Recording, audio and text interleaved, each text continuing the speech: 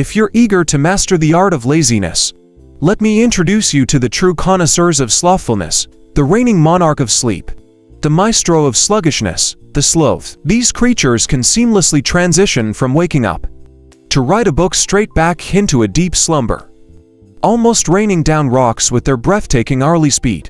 With digestive systems operating at a leisurely four time slower than the norm, these laid-back beings patiently wait for weeks for the digestion process to unfold.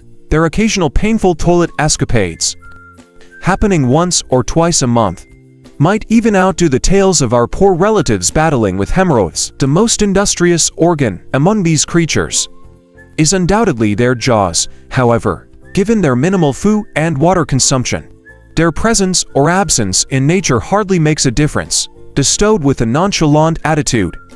These lethargic animals handled their responsibilities with the grace of a notary dealing with paperwork, rendering them an easy target for hunters navigating the wild.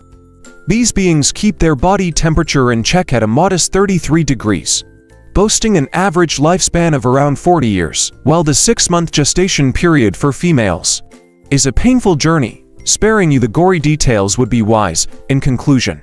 As our forefathers used to say, a fast horse leaves infrequent droppings, but the sloth is in a league of its own.